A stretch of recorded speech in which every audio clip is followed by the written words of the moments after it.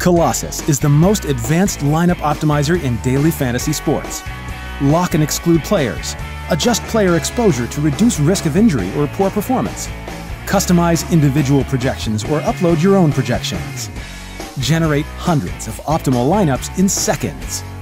Name and save the best lineups. Create winning lineups for the top sites like DraftKings and FanDuel for free at dailyfantasycafe.com. welcome to the Injury Report podcast on Big Italy 42 here talking about some key injuries for the NFL from this week and uh, moving forward and some potential um, falling out, some uh, some changes that could happen from these guys or maybe some changes that won't happen. And uh, not a lot happened this week. We were fortunate this week with not a lot of injuries, but um, starting off here with uh, the key player that missed a game this week, and that's Andrew Luck from the Colts. Uh, Colts playing on a short week this week on Thursday night. He uh, Luck has a shoulder injury. Uh, Hasselbeck stepped in. Uh, he threw a ton. They did well enough to win, and looks like Luck is very likely to play on Thursday. And backup quarterback Josh Johnson was released, and so it's going to be interesting to see as uh, as we pointed is pointed out in this article that on Thursday Sunday tournament that maybe Andrew Luck gets some exposure, but it's called a shoulder subluxation which is uh, not quite a separation as indicated here in the article, and uh, by Ryan. And it's going to be J.J. Watt and company rushing the quarterback here, and this is a rush defense that did really, really poorly the past, this past week. Uh, pass defense that kind of shut down Julio Jones, but didn't do great against the, the other guys. So I probably won't have much shares of Andrew Luck. Looks like he's going to play. Going to be a key division game, of course, against Houston. But just uh, it's a wait and see for me. Probably a nice fade for your Thursday contest. Next up, LeSean McCoy, hamstring injury, and he missed the game against the Giants. And now, all of a sudden, an MRI shows a new tear. Could be potentially three to four weeks, maybe even longer. Carlos Williams stepped in and was a very popular DFS play across the industry. Was kind of a disappointment. Couldn't get much going on the ground against the Giants until a late touchdown pass from Tyrod Taylor kind of paid that off. And uh, outside of that, um, this was uh, a running game and uh, an offense that just did not do very well. Williams had 21 touches in this game, and uh, with McCoy out, he's going to continue to be the focal point. This is the guy who got plenty of touches with McCoy in. And uh, we saw Tyrod Taylor have a couple touchdowns called back here.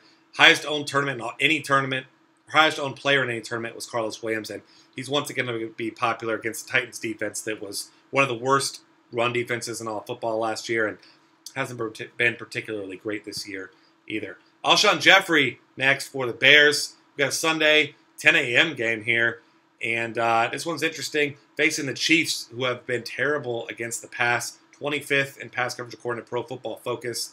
And uh, Jeffery once again set out this week, and they're giving up big plays a ton there in Kansas City. Saw the Bengals. Lots of guys had big plays there against them. Marvin Jones dropped a potential touchdown. Brandon Tate caught a touchdown. Saw a whole lot going on with that. That Chiefs second has just been really, really bad.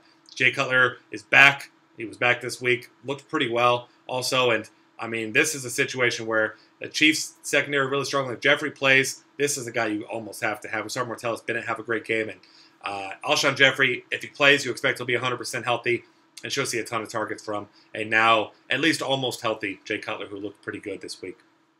Final one here Marshawn Lynch sitting out this week against the Lions, the Monday night game. And um, Thomas Rawls is getting the start um, tonight, actually, is Monday morning, um, going up against the Detroit Lions. And uh, this is going to be interesting because uh, if Rawls looks good, this is going to be a situation where a lot of us wanted to play Rawls, maybe had some exposure to Rawls anyway. Um, anticipating, as Marshawn Lynch, the, the final definitive report we got before lock on uh, Sunday was the fact that he was 50 50. And then we come to find out later on Sunday afternoon he was not going to play.